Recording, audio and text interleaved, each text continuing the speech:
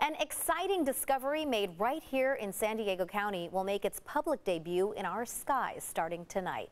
A green comet will pass Earth for the first time in 50,000 years. CBS 8's Shannon Handy is looking up.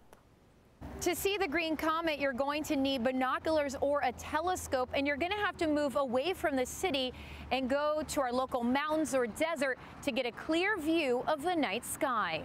This is a picture of the so-called green comet. Starting today, it will be closest to the sun and is expected to become even brighter as it nears Earth in early February. It does not pose any danger. The closest it will get is about 27 million miles. Dennis Mammana is a local astronomer. He says to understand why this is a big deal, you have to know where comets come from in the first place. It's a chunk of ice that is left over from the birth of our solar system. When one of these things comes close enough to us, we can take measurements of its size, of its speed. We can figure out where it came from. We can figure out what it's made of.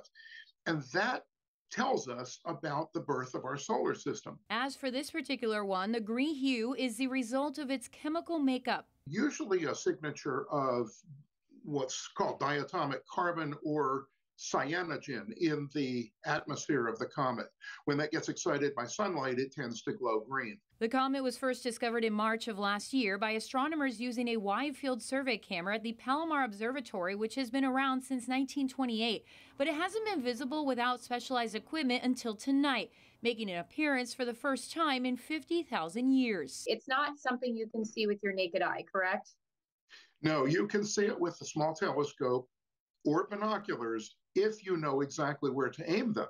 The best time is during the early morning hours after midnight from an area far from city lights. You'll have an even better chance if you wait a few more weeks as it makes its way closer to Earth. February 10th it will appear fairly close to the bright planet Mars in our sky. The green comet won't be quite as visible compared to the Neowise comet, which flew across our skies back in 2020. Still, astronomers and star lovers alike are excited. Many posting about it on social media, saying to have a chance to spot something not seen since the Stone Age is a once in a lifetime event everyone should experience. If you'd like to take a look at a live webcam tonight or get tips on where to look in the sky, just log on to CBS8.com and click on this story. For CBS 8, I'm Shannon Handy.